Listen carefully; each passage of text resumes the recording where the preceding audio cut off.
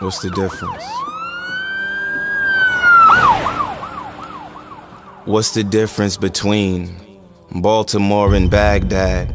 Ferguson and Philistine, crooked cops and corrupt regimes. What's the difference between Trayvon and Tajudeen, Eric Garner and Ibrahim, Tamir Rice and Abdul Rahim? Same story, different scene, same struggle, different theme. The only thing that seems to change is the color scheme. Same slogan by any means, from urban America to the Arab Springs, they killing dreams. The currency may be different and the color of the money, but there's a population in every nation with nothing in their tummy. You can live in the West and still go to sleep hungry, and some places in the US look like third world countries.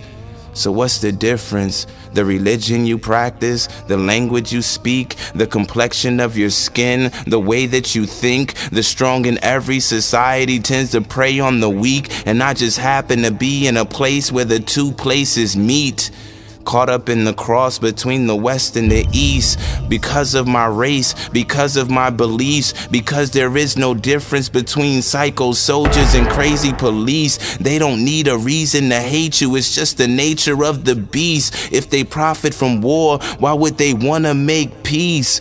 Crime is money, they don't want it to cease. There's a war on the streets and a war overseas. Corruption, destruction, extortion, and greed. Of course, there'll be corpses and mothers that grieve. Some will be captured and others will bleed. Some were forced to come, some were forced to leave.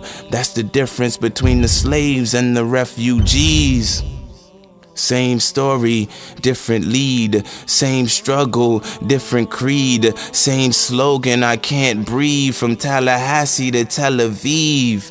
The only difference between them is the distance between them. They're still whipped by the system and stripped of their freedoms. Oppression doesn't rest in any particular region. Anywhere you go, you are destined to meet him. Whether you rest in the republics or reside in the kingdoms, from Egypt to the Emirates to the immigrants in England, Michigan to Morocco, Kashmir to Cleveland. What nation can go to sleep without its citizens bleeding? Civilians are screaming screaming from Syria to Sweden, victims to these systems that censor our freedoms, and any act of resistance against it, consider it treason.